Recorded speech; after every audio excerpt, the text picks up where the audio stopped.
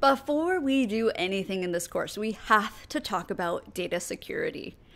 We have access to our clients' lifelines, all of their login details to websites. This could be anything from Netflix to their bank accounts.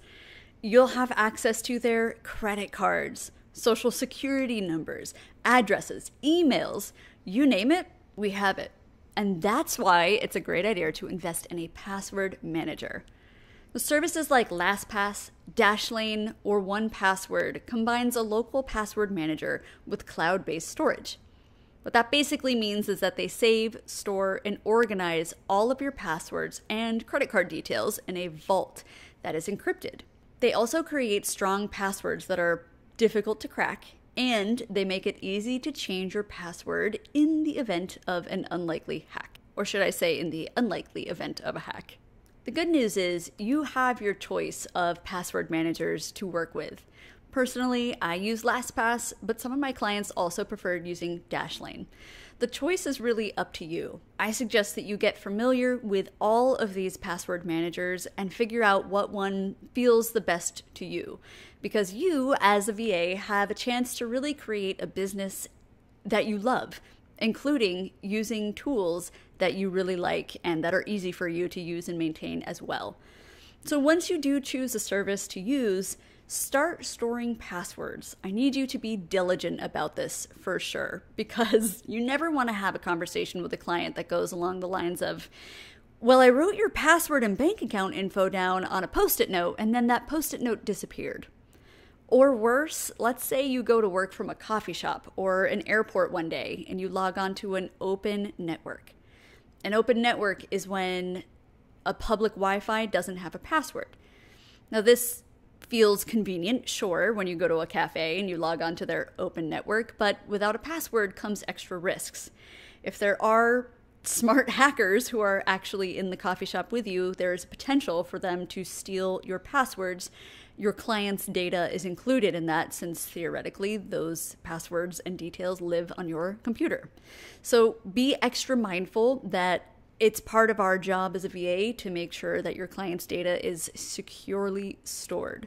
Let's jump into my LastPass and I'll show you quickly how this works and how you might use this with your own clients. Let's look at a few items on LastPass that I just want to point out to you to get you a little more comfortable with a password managing system.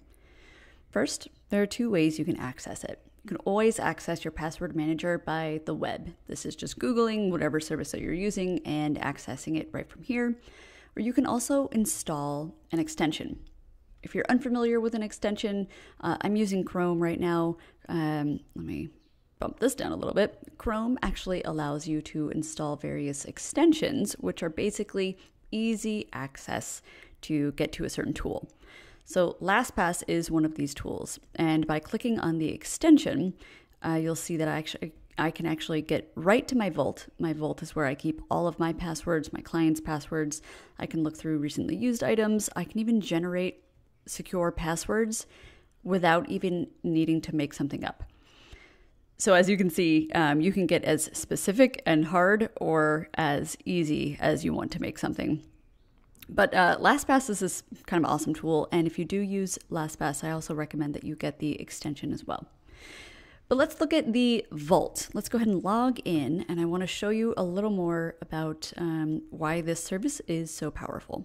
When you're looking at your Vault, you'll see right away that I've got these different categories, and the number next to it is how many items, that's how many websites I have saved in each category. Um, if I were to scroll down further below, you would see that I've also categorized a lot of my clients by the name of a company or the name of the person. Now, the extension, as I mentioned earlier, is kind of nice. You only need to click on the extension and you can search for the website in question. And when you type in the website here in this little bar, um, all the details will auto populate and it will give you an option that says something like fill in details. So you don't even actually need to access the vault. You can just fill in the details so that the client's uh, username and password is automatically generated, thus granting you access to their website. But of course, if you do want to access your vault, you'd only need to open one of these tabs, um, click this down arrow to see the items that are in each of these categories. LastPass is kind of nice because it automatically categorizes things for you. It's not 100%, sometimes they are way, way off, and uh, it'll categorize something as health that's actually supposed to be under entertainment. Something to be mindful of, but I do really like LastPass in that it does that automatically for you because other password managers like Dashlane don't. You actually have to add the category yourself. The vault is also where you will add certain things like payment cards bank accounts. So if a if a client gives you access to their bank account so that you can help pay their estimated taxes or they give you credit cards so that you can make purchases for them in the future, you're going to save your payment info here. Um, same with driver's license, passport, social security numbers. The last thing I want to mention to you about LastPass, and I'll go ahead and log out here, is that it comes with a master password that is only known to you. The bad thing is, if you forget your master password, it's actually quite hard to recover the account. So I recommend that you have a password that is known to you and known to you well.